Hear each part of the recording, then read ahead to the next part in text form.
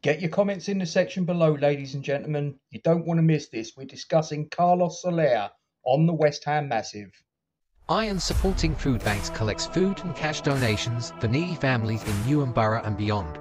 Please consider making a donation via their Just Giving page, the link for which you will find in the description section of this stream. Come on you Irons!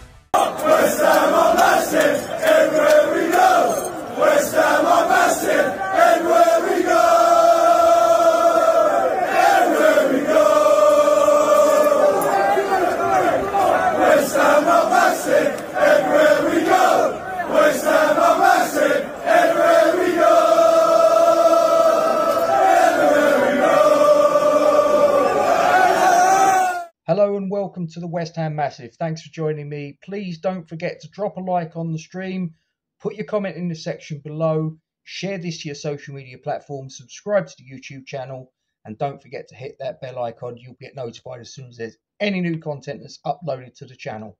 Thank you very much indeed for your support.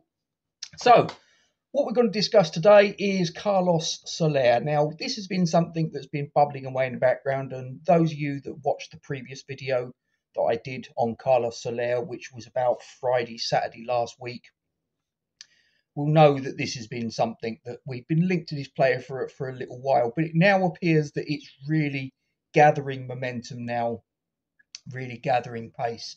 So, for those of you that didn't see the previous video and are not overly familiar with the player, he's currently on the books at Paris Saint Germain. He's a playmaker, central midfield type of player, very similar to in style, in style if not capability level, to Lucas Paquetá.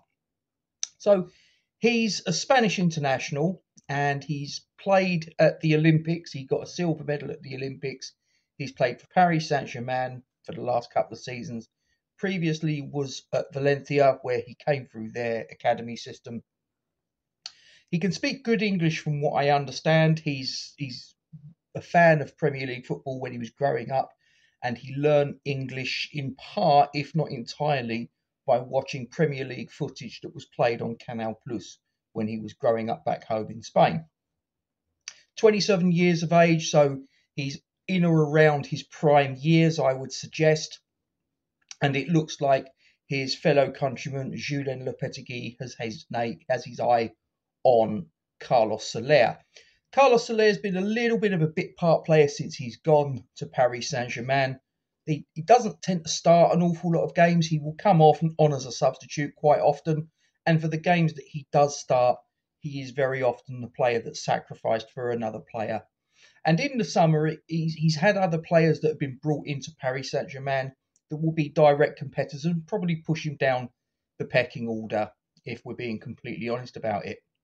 Now, I, in the previous video, said about him being a, a replacement in the long term for Lucas Paquetá, and I still believe this to be the case.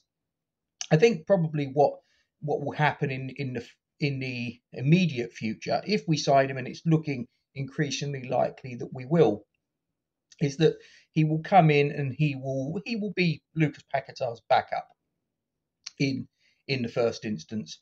Um, obviously, there's this thing hanging over him from the betting bits and bobs, you know, from that, that sort of reared their ugly head at the beginning of, of last season and probably scuppered his move to Manchester City. I think it's a fairly well established fact that he was probably on the way, and it was only that all these accusations and allegations came to the fore was probably what put the handbrake on Pep Guardiola pursuing his interest in the Brazilian international.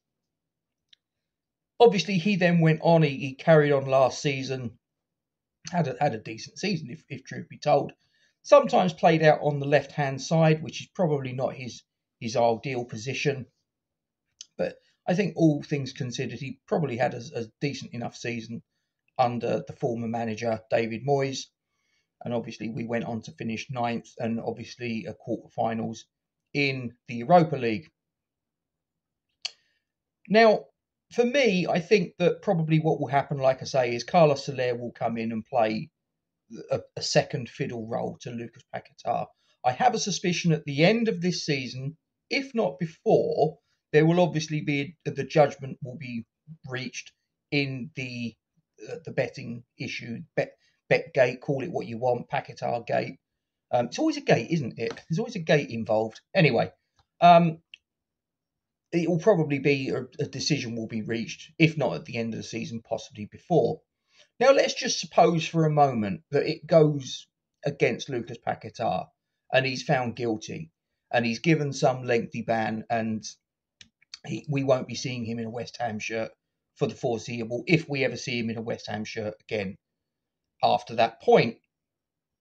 So I think at that point it would be that Carlos Soler then replaces him in the the sort of like immediate aftermath of that decision being reached. But even if he's exonerated, even if the charges are dropped, whatever, and there's nothing to see, I think it's quite likely that come this season's conclusion, it will probably be that Lucas Paquetá will then be moved on.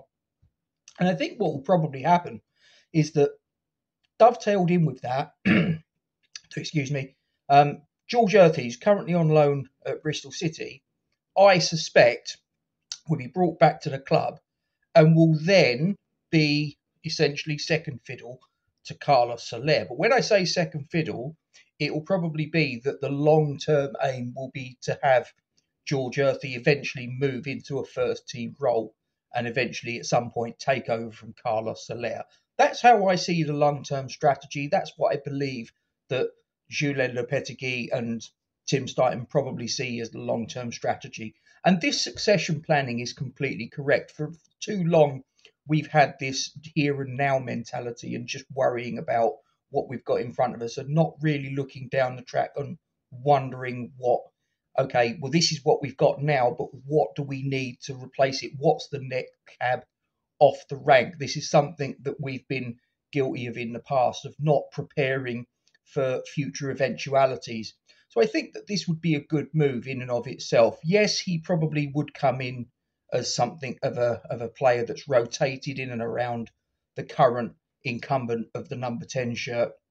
But long term, longer term, it will probably be he will take over from him. But again, he will probably be a bridge between Lucas Paquetá and his eventual replacement of George Earthy in the long term that Carlos Soler will be the bridge between those two points. Good player, I think he's, he's potentially someone that will come in, offer good value for us when he's called upon. Um, but again, you've got a comment section below on all of these points.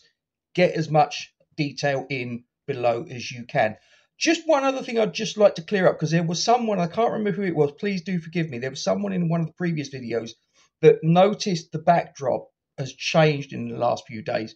Basically, at the moment, I am in Amsterdam. I'm on a holiday, and I know all the snarky comments are going to start, all sorts of accusations about I'm up to no good, skullduggery and shenanigans, general nonsense going on.